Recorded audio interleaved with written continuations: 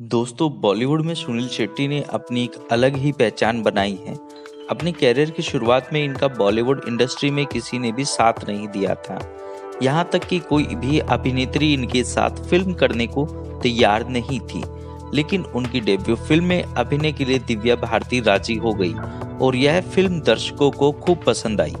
बॉलीवुड के बाकी अभिनेताओं की तरह ही सुनील शेट्टी का दौर भी काफ़ी उतार चढ़ाव वाला रहा है।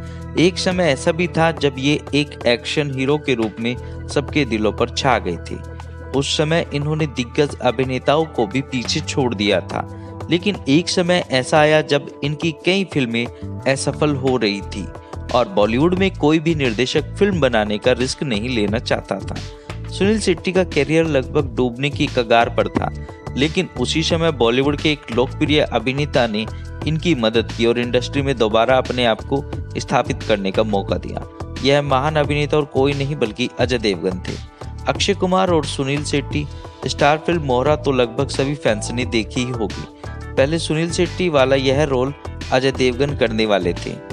लेकिन अजय ने फ़िल्म मेकर से इस रोल के लिए सुनील शेट्टी के नाम का सुझाव दिया। आखिर में फ़िल्म निर्माता मान गए और यह रोल सुनील शेट्टी को मिल गया। ब्लॉकबस्टर फ़िल्म मोहरा में सुनील शेट्टी के किरदार को खूब पसंद किया गया। इस फ़िल्म की अपार सफलता के बाद निर्माताओं ने सुनील शेट्टी के लिए फ़िल्मों की झड़ी लगा दी। इसके बाद सुनील शेट्टी और अक्षय कुमार की जोड़ी को कई फ़िल्मों में देखा गया और वो फ़िल्में काफ़ी हद तक सफल साबित हुई।